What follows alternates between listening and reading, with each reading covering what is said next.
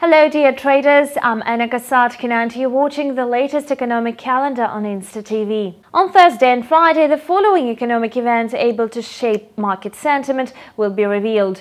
On Thursday, Canada will publish its GDP report for June. Analysts suppose that a monthly growth will be 0.1% and an annual increase will make up 4.1%.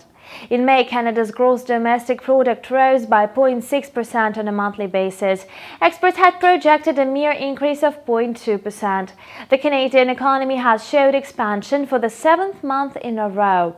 In comparison with May 2016, the country's GDP grew by 4.6%. Supported by the energy sector, the economic growth in May beat expectations. The industrial production advanced by 1.6% amid a higher minerals, oil and gas production. Thanks to financial and insurance enterprises, the services sector expanded by 0.2%. On Friday, the United Kingdom will deliver its manufacturing PMI data for July. According to forecasts, the indicator will edge lower to 55 points.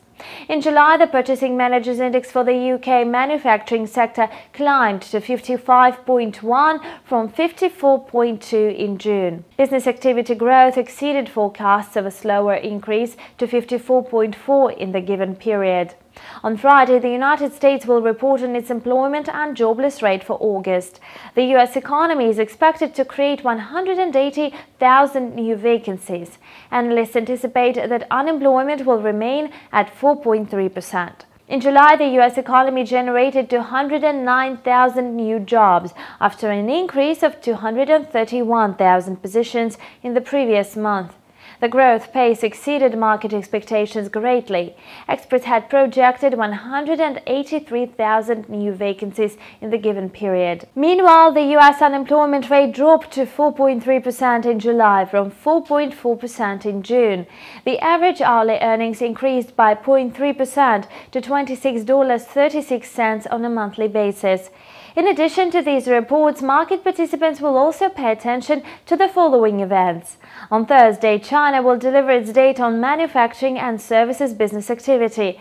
Australia will report on its private capital expenditure. Preliminary inflation data and retail sales statistics will see the light of day in the Eurozone and Germany respectively. The United States will unveil its unemployment claims reports. On Friday, China will publish its Caixin manufacturing PMI. The Institute for Supply Management will reveal its data on the U.S. manufacturing business activity. And this concludes the calendar of the latest financial events on Insta TV. Thanks for watching and have a nice trading day. Bye.